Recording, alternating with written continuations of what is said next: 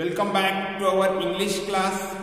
Today, once again, I am here to talk with you about a new lesson. So, dear friends, today we are going to learn a new lesson that is Rangoli.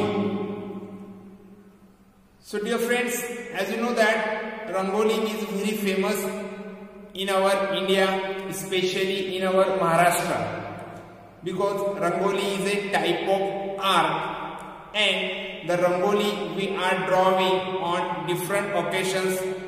Uh, for example on festivals if some celebrations are there. So to decorate the surroundings to decorate our homes we are drawing a rangoli which is the symbol of our joy and happiness. Rangoli is also part of welcome means if some guests are coming to our home so for their welcome we are drawing a rangoli in front of doorsteps so that's why it is very important. So today we are going to learn about such important art that is rangoli. So dear friends rangoli is one of the most beautiful and most pleasing art forms of India. As I told you that Rangoli is a art. So it is most beautiful and most pleasing art form of our India. In our India there are different type of arts. So Rangoli is one of the most beautiful art of India. And the word Rangoli or Rangavali consists of two words. That is rang which means color. And avli means means row or wine. Means the rangoli or rangavali this word is made up of two words. That is rang and avli so rang means color and avli means row or wine. So students, Rangoli is the art of making designs or patterns on the walls or the floor. So on the walls or on the floor, we are drawing a designs and patterns which is the part of Rangoli. So students, the Rangoli designs are drawn in the courtyard or in the front of doorstep every day. Means uh, as in the beginning I told you that for the decoration purpose we are drawing a rangoli in the courtyard or in front of the door steps but every day we are drawing. So students here I want to tell you that the most interesting feature of rangoli is that it is drawn afresh every day means you may notice that every day whether in small in size or big in size but every day we are drawing a rangoli and it is known as afresh.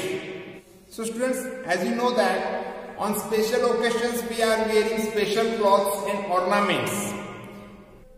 So in the same way special designs are made on the occasions of feast and festival means in our home or nearby our home if there are some functions are there. So we are wearing new clothes, right? So like this, on every new occasion, we are drawing new type of rangoli or new designs or new patterns. So this is the most interesting feature of rangoli we have to know.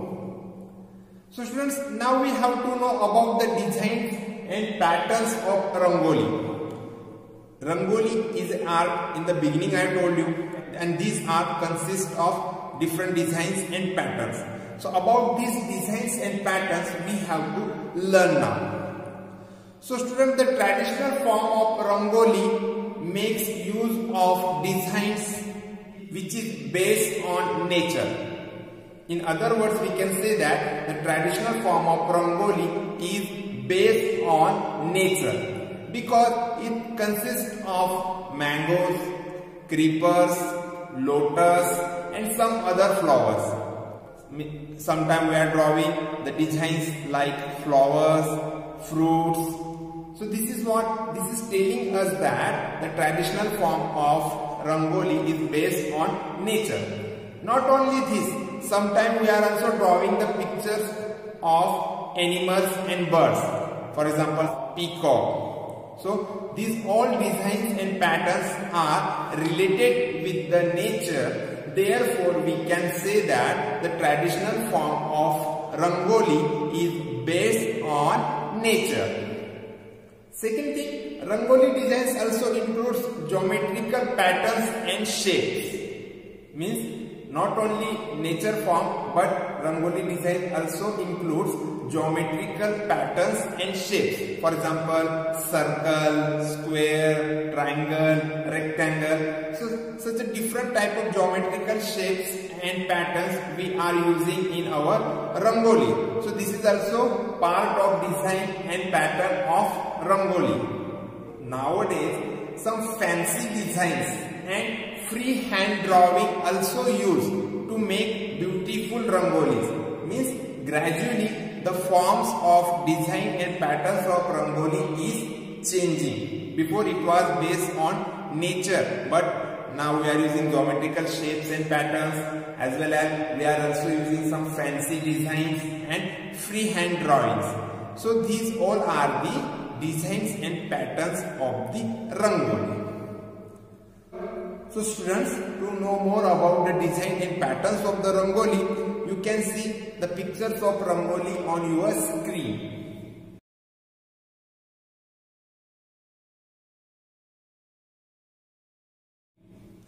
So students, now we have to learn how it is made, means how Rangoli is made. So students, usually Rangoli is made up of green powders such as sand, marble dust, sawdust or rice grain powder. Means which are the material? That is sand, marble dust, sawdust or rice grain powder. By using these things the rangoli is made. When we, when uh, we are drawing that at that time we are feeling that rangoli is in the form of powder. Generally it is in white in color but by, by using different type of chemicals different colors or different type of rangolis are also manufactured. So students now we have to know about the relationship between the Rangoli and Diwali. So students here I want to tell you that there is a special relationship between Diwali and Rangoli. Diwali is also known as Deepavali. So as you know that Deepavali or Diwali is a festival of lights. But the Rangoli also enrich the joy and beauty of the Diwali. So therefore there is an important relationship between Diwali and Rangoli. Here we have to know that Rangoli occupies a special place in the festival of Deepavali or Diwali. Means during the festival of Diwali or Deepavali, Rangoli occupies an important as well as special place. We cannot imagine Diwali or Deepavali without Rangoli. Because Rangoli is art as I told you and this art form is an expression of warm hospitality means when some people or guests are coming to our home so for their welcome we are drawing a rangoli in the courtyard or in front of the door steps. And this is nothing but expression of our warm hospitality. Means when the people are coming to our home and when they are watching this rangoli so they are getting happiness and, and this rangoli is expressing that there is a welcome of these people inside the home because it is the symbol of welcome. So to welcome the guest, we are drawing a rangoli in front of our doorsteps. So as I told you that the rangoli signifies that the people coming to the house are welcome inside. So and students when Diwali festival starts so up to 5 days we are drawing different type of designs and patterns of the rangoli to decorate our home. And uh, we are also using different type of colors which is looking very beautiful.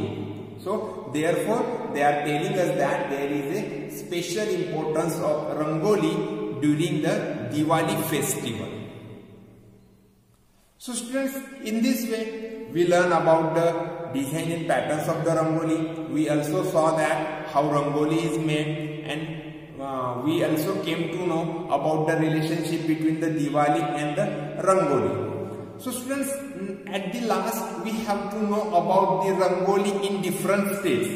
Means in our India, especially in our Maharashtra, Rangoli has an important place, no doubt. It is clear. But in other states also, Rangoli occupied an important place. But in our Maharashtra, we are calling it Rangoli. But in other states, the Rangoli has different names. So about this we have to know. So therefore we have to know Rangoli in different states. So students on your screen there is a chart which is telling us about the names of the Rangoli into the different states. So you can see on your screen. So students, Rangoli art is known by different names in different parts of our country. So it is known as Chok Purana in Uttar Pradesh. In Rajasthan it is known as Madna. In Andhra Pradesh it is known as Muggu. And in our Maharashtra, Gujarat and Karnataka it is known as Rangoli. In West Bengal it is known as Alpana and in Uttaranchal it is named Aripana. And in the part of southern region of our country that is in Tamil Nadu and Kerala it is known as Kolam. So students each region has its special characteristics, designs and patterns. Means the Rangoli uh, if the in Maharashtra if we are drawing a rangoli so our patterns our designs are different from the southern part. It means in Tamil Nadu and in, in Kerala if the there uh, there the people are drawing the rangoli so their patterns and designs will be different as compared to our designs and patterns. So it is showing variety into the designs and patterns of the rangoli Therefore, here we can say that each region has its special characteristics of Rangoli. So therefore, we can say that each region has its special characteristics, design and patterns. Because according to the region, there is a change into the Rangoli. So students, in this way, we learn that Rangoli art has been used for centuries to beautify many Indian households.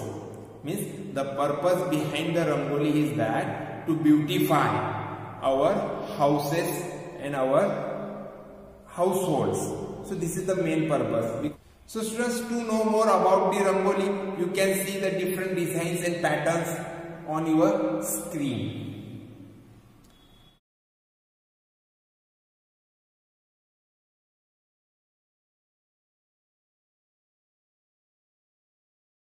So students, in this way, today we learn about an art that is Rangoli. In this lesson, we studied about the designs and patterns of the Rangoli. We also came to know how Rangoli is made. We also studied about the relationship between Diwali and Rangoli. And at last, we studied how Rangoli is known as into the different states.